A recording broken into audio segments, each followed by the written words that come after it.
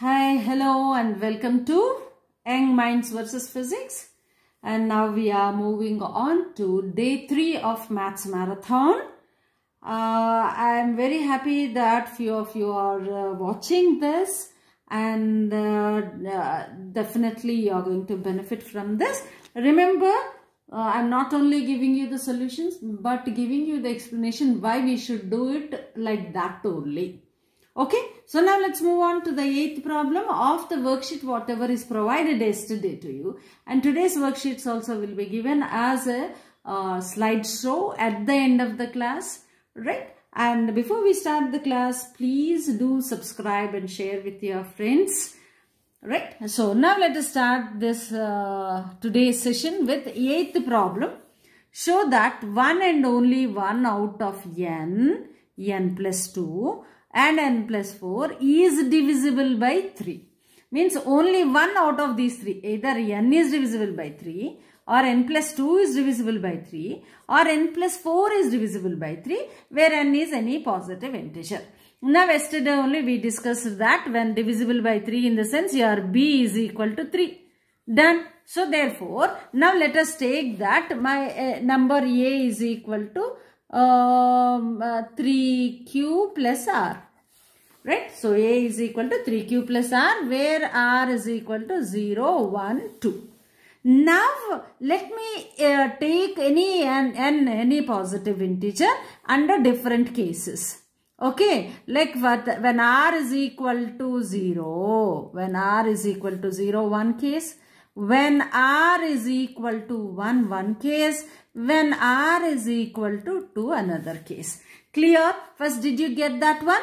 Right? So what is that? This is normal only. From euclid's lemma you will write 3q plus r now i want any n positive uh, integer with n n plus 2 n plus 4 are different conditions.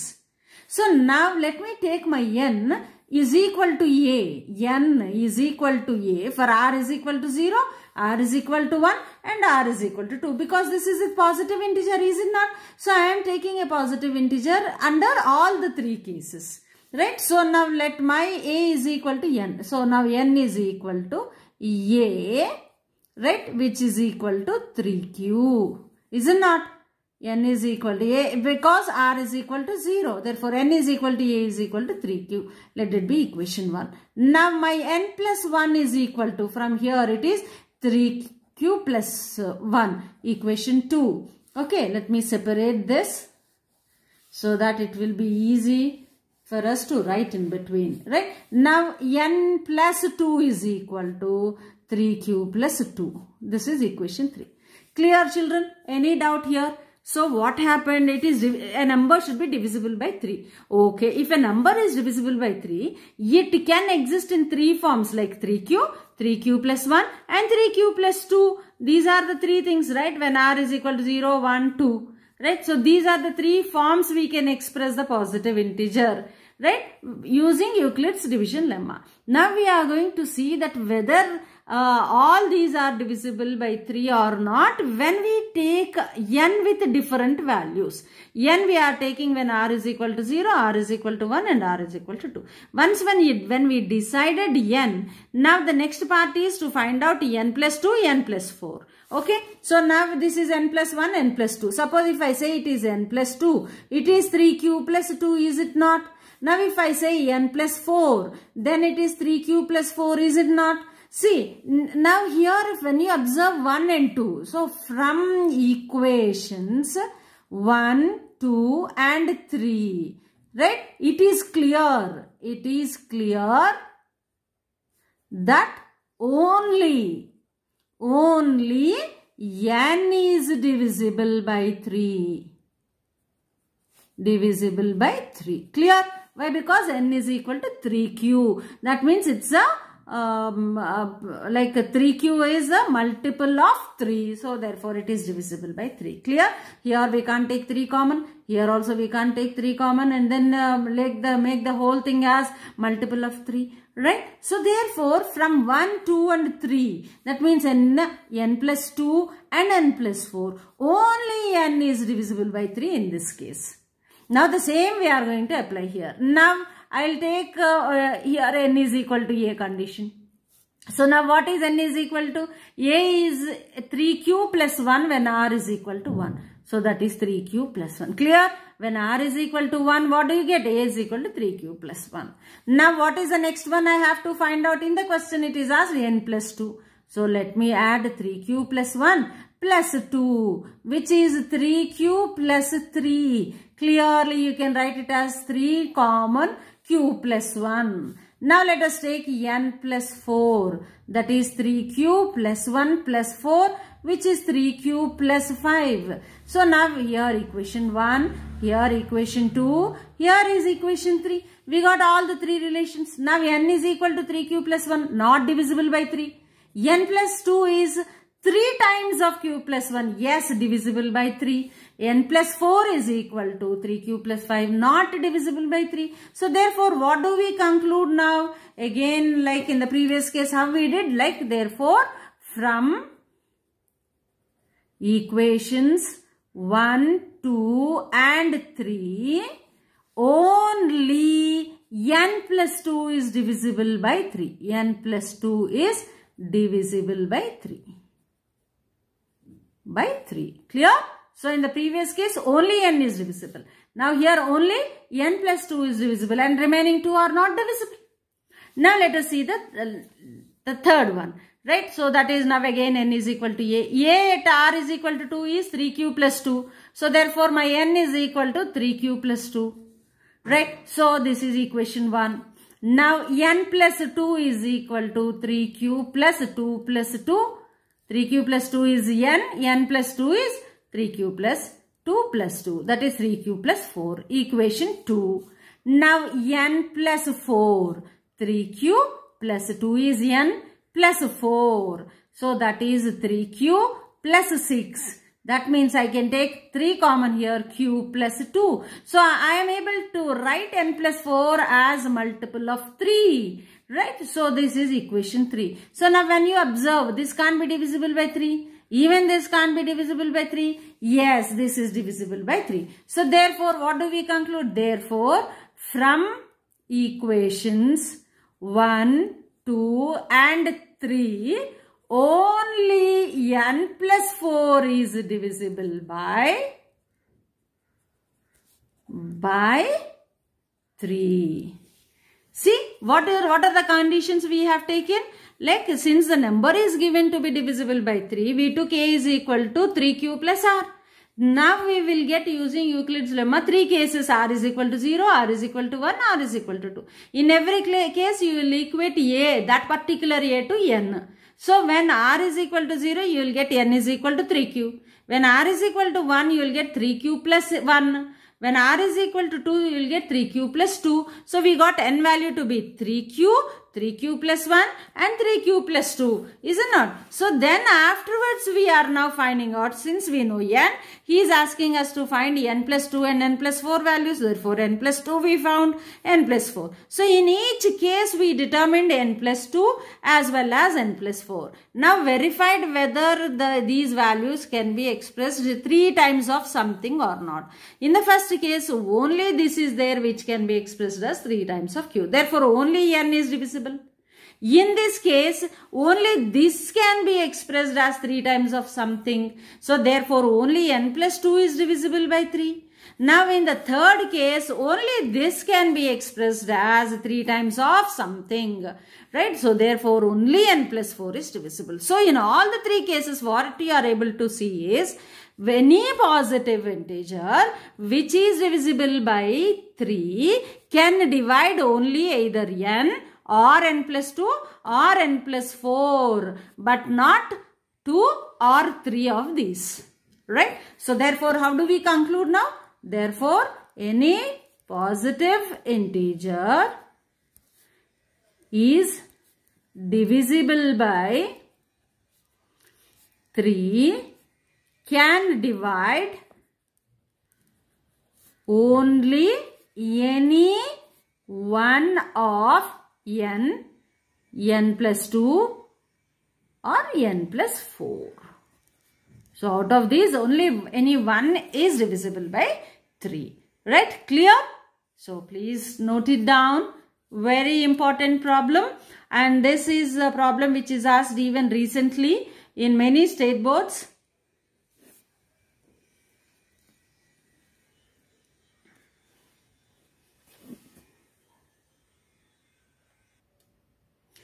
Let's see the next one. That is the ninth problem from the uh, worksheets.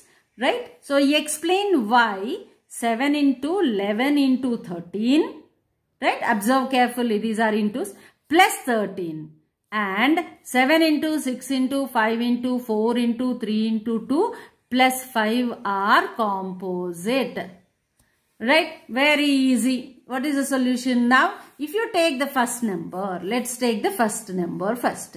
So it is 7 into 11 into 13 plus 13. So this can be written as, this is one term, this is the other term. In both the terms, we have 13 as common. So take 13, right? I can take this one, 7 into 11 is left in the first term plus 1 in the second term. So therefore this is expressed as 13 times of some value. So I'll write it as 13m. Therefore it is divisible by divisible by 13. Right? But this is not equal to 13. But not equal to 13. But not equal to 13. That means it is a composite number. What is a prime number? A prime number is the one which is either divisible by itself or 1. But here it is divisible by some other number 13. So therefore the number is composite. The number is composite. Clear? Right. So now see this one also. Second number. Definitely 7 into 6 into 5 into 4 into 3 2 plus 5 is not equal to 5, right? So now let us see. In the first term you have 5. In the second term also you have 5. Take 5 common. So 7 into 6 into 4 into 2. So definitely you know that this is a number which is added to 1 and the whole thing is not equal to 5. So it is 5 multiplied by some number. So therefore divisible by 5. Divisible by 5. But the number is not equal to 5. That means other than the number, some other number is able to divide the given number. That means therefore the number is composite. Therefore the number is composite. You can write in your own words. But these steps are important. Right? So note it down.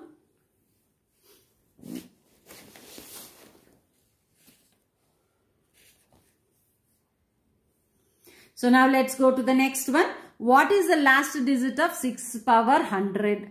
Right. Uh, so now solution. So 6 power 100 if at all if we are reducing also 6 into 6 is 36. Right. Again 6 into 6 is 36. So that means here whenever you are multiplying 6 into 6 is equal to 36. If you multiply this with another 6 also you will be getting 36 into 6 uh, 6 6 are 36, 3 here, uh, 6 3s are 18 plus 3, 21. So 216. So now again you are getting 6 only in units place. So how many times you may multiply 6 with itself? Right? Always you can see that in units place you will have, you will get only 6. Therefore, last digit is equal to 6. This is one way of explaining thing or the same thing can also be explained as right? 6 power 100 is equal to 2 into 3 whole power 100. 2 into 3 is always 6 that is 2 power 100 into 3 power 100 right? 3 3s are 9 right? Uh, so now let's not go by this one. Right? So 2 into 3 whole power 100 right? And always see that this 2 into 3 is 6.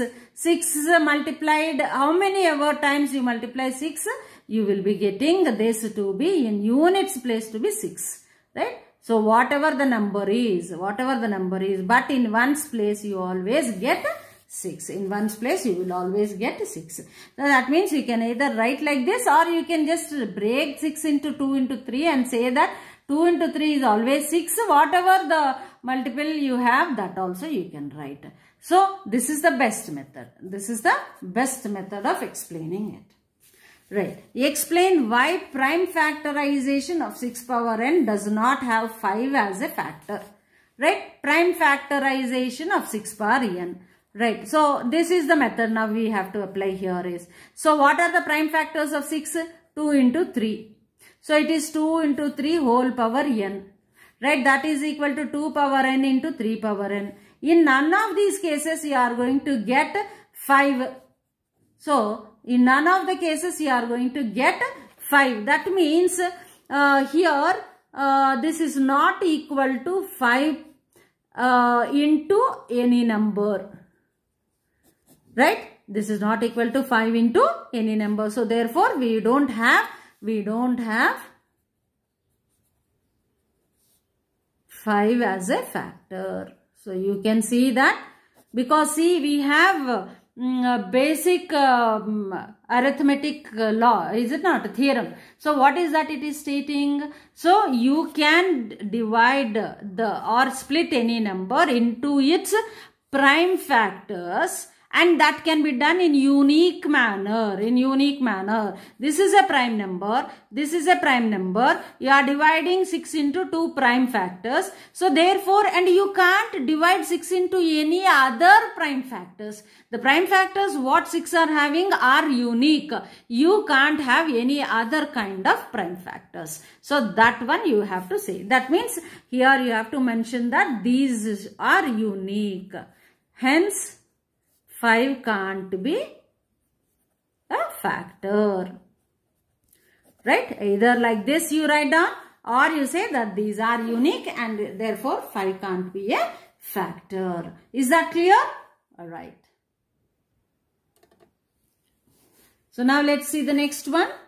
Right? Uh, in this I am teaching you root 2. You can also prove for root 3, root 5 and all these numbers in a similar manner. Right? Root 2 is an irrational number. Irrational number. Right? So for, for that what we do is uh, we take root 2 as rational number. Root 2 as rational number. What is the definition of rational number? Rational number means it should be expressed as P by Q and P and Q should be co-primes. Is it not? That means P and Q should not have uh, any common factors other than 1 other than 1 and of course q not equal to 0 is very very common. So we are going to use that principle here. So now what we are imagining root 2 is equal to some p by q. That means squaring on both sides. Now squaring on both sides. What do we get here? 2 is equal to p square by q square or cross multiplication 2q square is equal to p square. 2q square is equal to p square. What does it mean? What does it mean?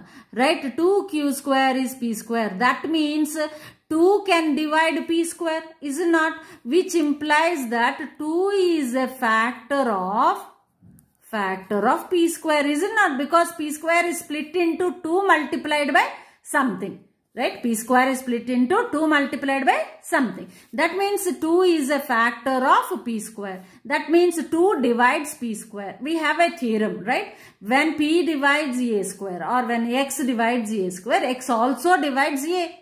So that means it implies 2 also divides also divides p. Right? P 2 also divides p. Implies 2 is a factor of P. Fine. Right. In a similar manner, let, let us imagine that P is equal to some 2C. Let us imagine that P is equal to 2C because it is divisible and we said no.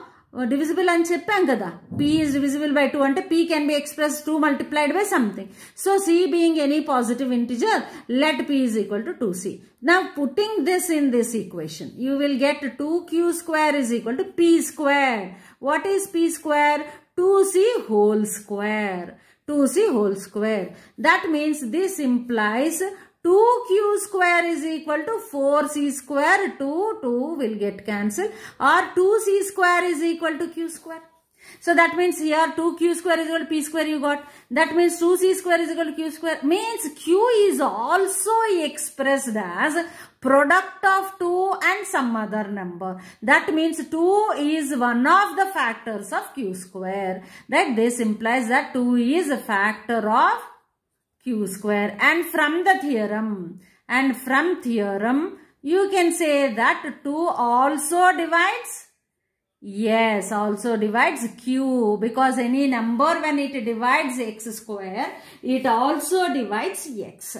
So similarly, now what do we say? 2 is a factor of p, also 2 is a factor of q. 2 is a factor of q. So 2 is there which is a common factor to both P and Q. Right? That means these are not co-primes.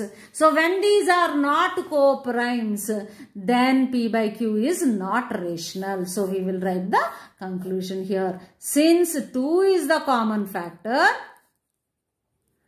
common factor, okay, uh, um, P by Q, P and Q are not co-primes. P and Q are not co-primes. Hence, P by Q which is equal to root 2 is not rational. Therefore, root 2 is irrational. Root 2 is irrational. See students, here if in place of root 2, you are given root 3. So what you will get? 3 p square is equal to 3q square. That means here you will write the conclusion as 3 is the common factor of p and q and therefore p and q are not co-prime. If they are not co-prime then p by q is equal to root 2 is not rational. Therefore root 3 is irrational. Suppose if root 5 is given, you will write here 5. If root 7 is given, you will write root 7 here. Same, steps are same right? So only thing is you are imagining it to be rational and then taking p by q. Root 2 is equal to p by q is rational. So what we imagined is wrong. Therefore you are proving it to be irrational. You are taking the converse of it right? We are coming from reverse direction. Clear? Right? Yes, the only twist here is still here everybody understands. The only thing here is this part because now we want to express p square into 2 multiple of something. That's all. p is equal to 2c.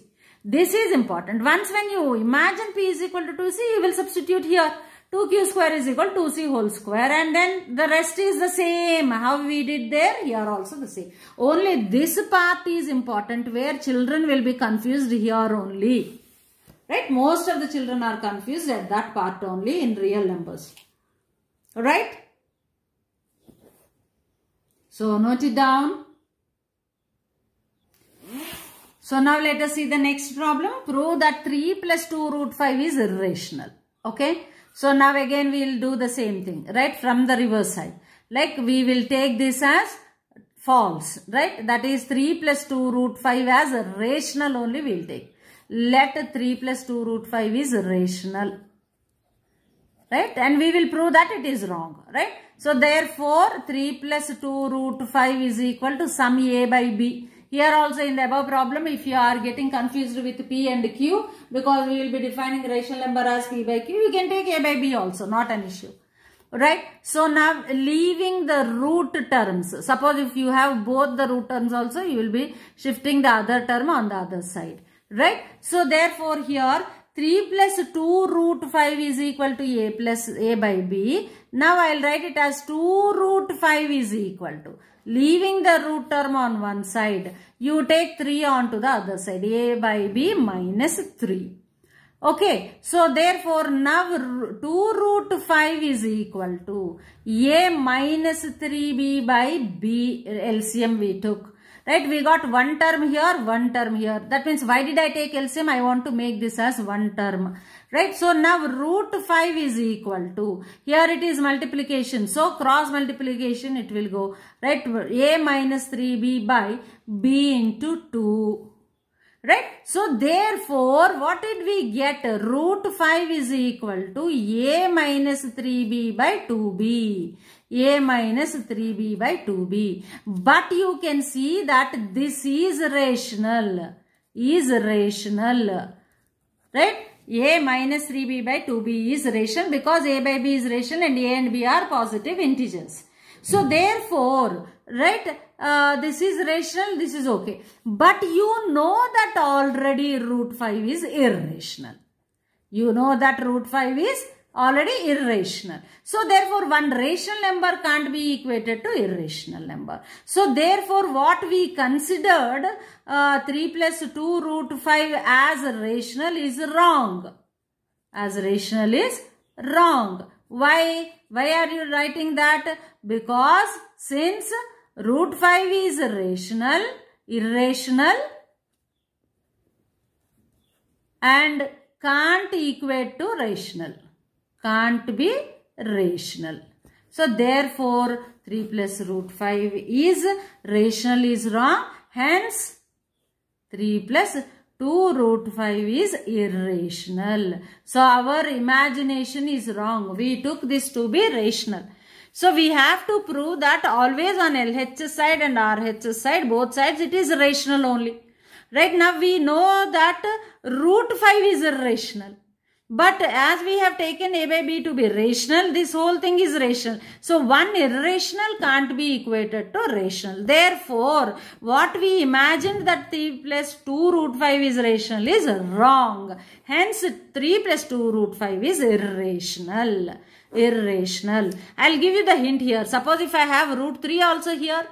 Yes, the thing here is leave only one root on one side and take the other root term onto the other side and square on both sides.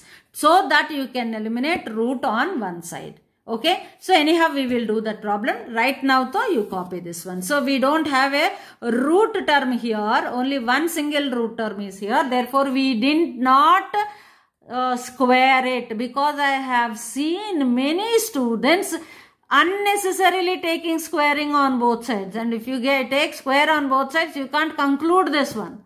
You have to leave a root term on one side and an, uh, the whole other side should be of non-root term. Then only you can say that one side is rational, the other side is irrational, which is wrong. Therefore, our assumption is wrong. Okay. Okay, students, please maintain that one. So, there many students will be confused. Right? So here there is no need to take squaring on both sides. Next problem that is ninth problem, 19th problem for um, worksheet and prove that root 2 plus root 5 is irrational. So just now we discussed it. So what did we have? Two root terms. Right? As usual we say that uh, to let root 2 plus root 5 is rational rational, right? So, therefore, root 2 plus root 5 is equal to a by b is equal to a by b. So, therefore, now what did I say now? Yes, one term, one root term should be on one side, the other should go the other way. So, I will take root 2 here. We will go with a by b minus root 5 here. Anything you can take. A, you can keep root 5 here uh, and send root 2 here or you can take root 2 here and root 5 because anyhow on squaring on both sides. One term will become free of root okay? So therefore now squaring on both sides. Squaring on both sides. Now we have to in the previous problem no need because we have only one root term on one side. Okay, if you square again, root term will disappear and you won't be having a foundation to say that the other side is irrational. Okay, right. So, therefore, that means you are going to reduce the equation in terms of known irrational values. What are the known irrationals? Root 2, root 3, root 5, root 7. These are the known irrationals. So, in this form, we have to bring the equation finally. Okay, that means root should be there to one of the terms. Clear? That is why only when one single root term is there, you should not square on both sides. Here you have to square on both sides. So now this is squaring on both sides. Root 2 whole square is equal to a by b minus root 5 whole square. So root 2 whole square is 2 that is equal to now I will do it as a by b whole square plus root 5 whole square minus 2ab that is 2 into a by b into root 5. Okay, so now this is 2 is equal to a, a, a by b whole square plus 5 minus 2a by b into root 5. Now I will take all the non-root terms onto the other side. Okay, or this term I will take this side. That is enough, right? So therefore, 2a root 5 by b is equal to a by b whole square plus 5 and transposing 2 onto this side it is minus 2. So now I got this to be equal to a by b whole square plus 5 minus 2 is plus 3. Right. So now here uh, leaving only root 5 term on this side remaining all you transpose. So root 5 is equal to cross multiplication b times of a by b whole square plus 3 right? Divided by 2a right? So this is what you got to be. Right? This is now rational again. And we know that root 5 is rational we know that root 5 is irrational therefore our assumption is wrong therefore root 2 plus root 5 is irrational. You should say our assumption is wrong, then you must give this conclusion. Clear? So, any such numbers are given. Please remember the general rule here is that only one particular root term should be left on one side so that we can say that means that is the non-irrational term. Non-irrational term. That will suppose if it is root 9. It is a rational number, is it not? You have to take the decision. It should be a, an irrational number. Clear? Because root 9 is 3. It is a rational number. Now I am saying that you should have an irrational number alone. Only one irrational number alone on one side and prove that one rational number can't be equated to irrational number. Therefore, our assumption is wrong. Hence, the given number is irrational. Clear? Right. So, now let us see the another uh, problem based on this but not with numbers. Right. So, same concept is the same. Uh, let root of n minus 1 plus root of n plus 1 is rational. So, we have to say that for, for what integer of n can this be rational? Right? Show that there is no positive integer at all for which it is rational. Now, we have to prove that if it is irrational, there is no point that we will have a an integer to prove it to be rational. At any cost, it can't be rational. Right? So, this is what we are going to show, right? Uh, now take uh, root of n minus 1 plus root of n plus 1 is equal to a by b. Right, root of n minus 1 is equal to a by b minus root of n plus 1. Right, now squaring on both sides. On both sides, you will get n minus 1 is equal to, I am writing all direct steps, a by b whole square plus n plus 1 right? Minus 2a by b root of n plus 1 now here non root term you root term you bring here. 2a by b root of n plus 1 is equal to root of n plus 1 is equal to right? Uh, a by b whole square plus n plus 1 this will be transported as minus n plus 1 so n n will get cancelled. So a by b whole square right plus 1 plus 1 is plus 2.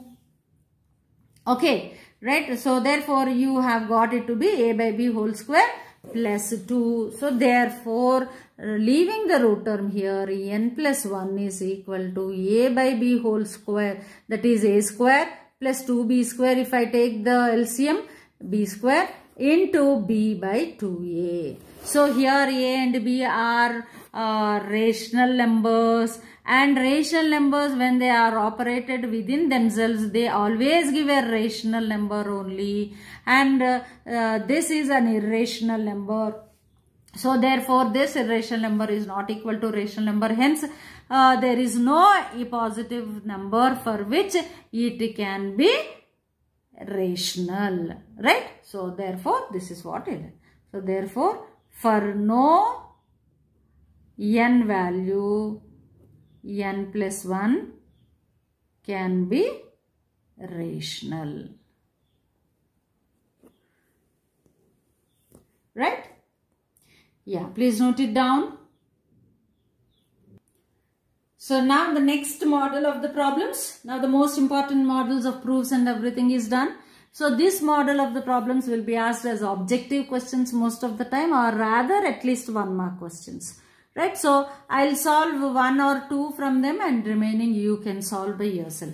Write the following rationals in decimal form without performing actual division. So we are not going to perform actual division and but we are going to write them in uh, uh, like uh, these are rational numbers already given as right in decimal form right so like how to uh, convert this in decimal form now you have 7 by 8 i am taking the first one here 7 by 8 can be written as 7 by 2 cube I want to make this without division means divided by 100 or divided by 10 or divided by 1000 gives me easily without division I can put a decimal point right. So therefore to make this being uh, denominator with zeros I can just multiply 5 cube right here in the denominator. So in the numerator also 5 cube right? So therefore 7 into 5 cube. What is 5 cube? 25 into 5 125 divided by 2 into 5 whole cube.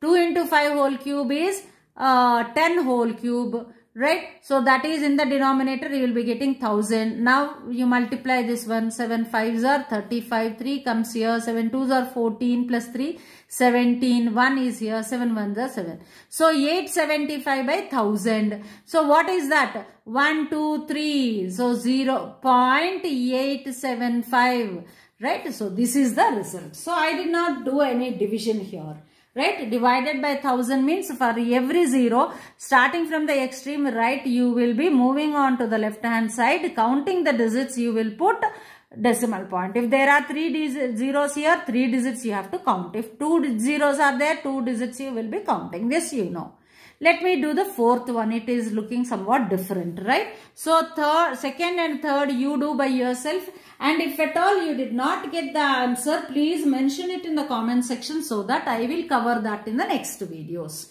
right? So, now 4, 7, 2, 1, 8 by 3 square into 5 square.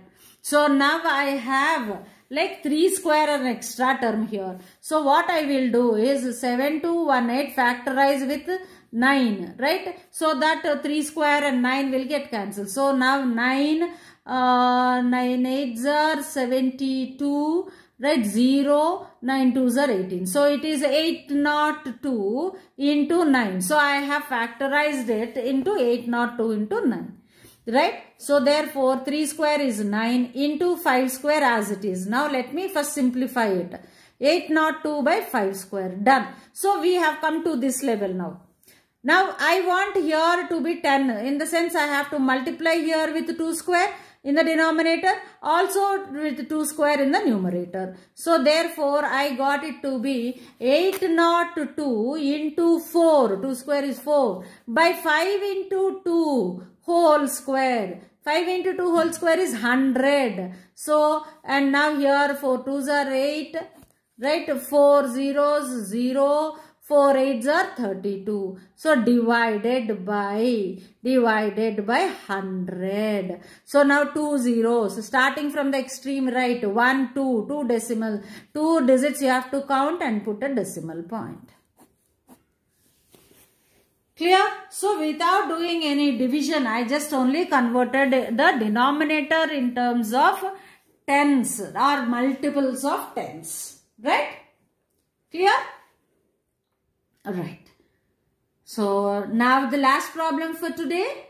Right. Which of the following are rational and which are irrational? Very good. So what is the thing? Again, you have to see that if the terms 3, root 2, root 5, root 7, if these appear, no, then automatically they are all irrational because, because one rational number and one irrational number. When they are combined together with any kind of operator maybe addition maybe subtraction maybe multiplication maybe division whatever it is always a combination of a rational number and an irrational number is always irrational is always irrational.